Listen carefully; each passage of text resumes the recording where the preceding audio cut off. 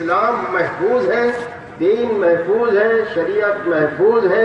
اللہ تبارک و تعالیٰ نے اس کی حفاظت اور حمایت کا ایسا ذمہ لیا ہے کہ اللہ نے اپنے حبیب محمد الرسول اللہ صلی اللہ علیہ وسلم سے بھی فرمایا کہ آپ بھی اس دین میں، اس قرآن میں، اس شریعت میں تبدیلی لانا چاہے تو آپ بھی تبدیلی نہیں لا سکتے۔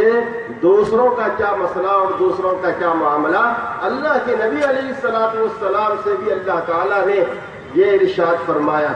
مشرقین نے جب رسول اللہ صلی اللہ علیہ وسلم سے ایک آجزانہ گزارش کی تھی، ایتی بقرآن غیر حاضہ ایتی بقرآن غیر حاضہ اس قرآن کے علاوہ کوئی دوسری کتاب لا کر کے رکھ دیجیے، ہم اس کو ماننے کے لیے تیار ہیں، سب مسلمان ہو جائیں گے، کلمہ پڑھ لیں گے۔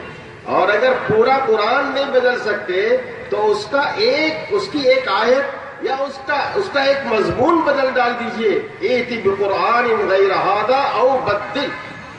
اللہ تعالیٰ نے جواب کا ارشاد فرمایا اللہ نے فرمایا، آپ کہہ دیجیے میں یکون انبدلہ من تلقاء نفسی میں اپنی طرف سے اس میں کوئی ترمیم اور تبدیلی کرنے کا مجاز نہیں ہوں اور مجھے یہ اختیار نہیں ہے۔ اگر میں نے خدا نہ خواستہ بفرض محال ایسا کر لیا اور سامنے والے کی بات میں نے کچھ سن لی۔ انی اخاف ان عصیت ربی عذاب یوم عظیم۔ مجھے بھی قیامت کے دن کے عذاب عظیم کا ڈر اور خوف لگا ہوا ہے۔ تو ہماری شریعت اتنی محفوظ ہے۔ اللہ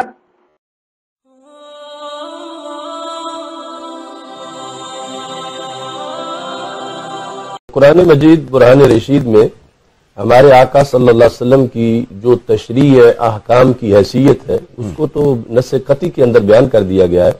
اللہ تعالیٰ فرماتا ہے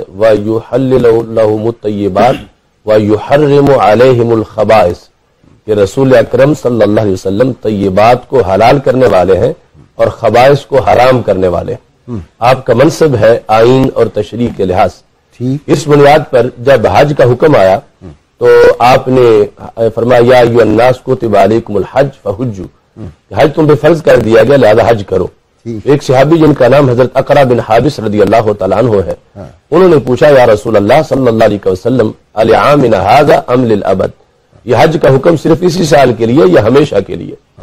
تو ہمارے آقا صلی اللہ علیہ وسلم خاموش رہے انہوں نے پھر پوچھا پھر پوچھا تو آپ نے ارشاد فرمایا لو قلت نعم لوجبت ولا مستطعتم۔ اگر میں نے ہاں کہہ دیا تمہارے سوال کے جواب میں تو ہر سال ہی فرض ہو جائے گا۔ لیکن پھر تم صلاحیت نہیں رکھو گے طاقت نہیں رکھو گے۔ یہ یہ امت کا خیال ہے۔ جی جی۔ اتنا شفقت اتنی شفقت اور پیار ہے کہ میرے لفظوں کو عملی جامہ پہنانے میں ان کو کتنے سال لگیں گے اور پوری کائنات سے لوگوں کو آنا پڑے گا۔ اب اس میں غالب صاحب بڑی بنیادی چیز ہے۔ ہم۔ یہ دیکھتے ہیں کہ اللہ کے نزدیک کیا طے تھا کہ ہر سال فرض کرنا ہے یا ایک بار فرض کرنا ہے۔ تو اب اس کا جواب اس حدیث نے واضح کر دیا کہ اگر یہ ہو کہ اللہ کے نزدیک یہ ہے کہ ہر سال حج فرض کرنا ہے تو سرکار یہ کیوں فرماتے ہیں اگر میں کہوں تو ہر سال فرض ہو جائے؟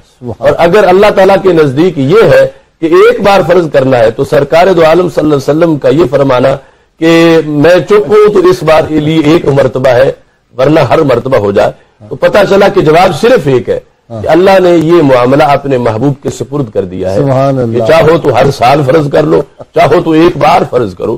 اب اس سے بڑے بحثیت اشارے آئین بنانے والی حیثیت جو ہمارے آقا علیہ السلاۃ والسلام اس کی کیا وضاحت ہو سکتی ہے۔ کہ حج جیسا فریضہ اس کے اندر اللہ نے آپ کو اتھارٹی بنا دیا آپ کے سپرد کر دیا۔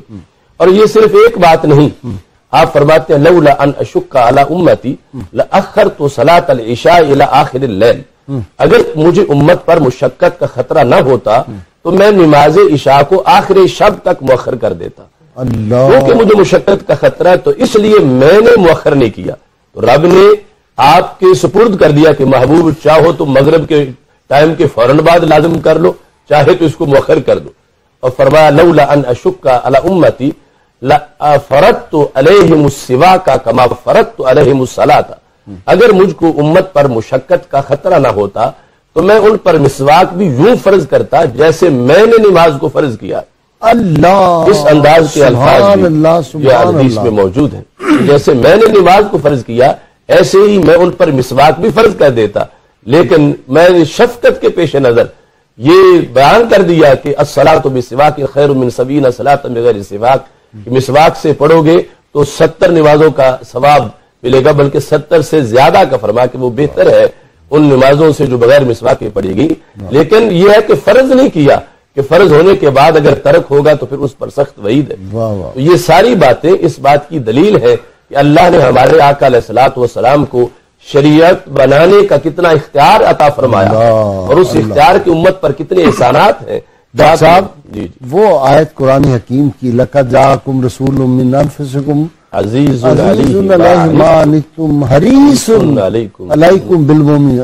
تمہاری تکلیف رسول اللہ سے دیکھی نہیں جاتی وہ اتنے تمہارے اوپر ڈاکٹر صاحب دعا کیا کریں. اللہ اس امت کو یہ پتہ چل جائے کہ حضور صلی اللہ علیہ وسلم ان پہ کتنے شفیق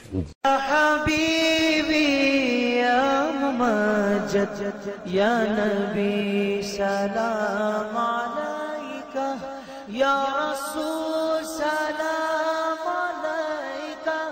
یا حبيب سلام علیکہ. صلوات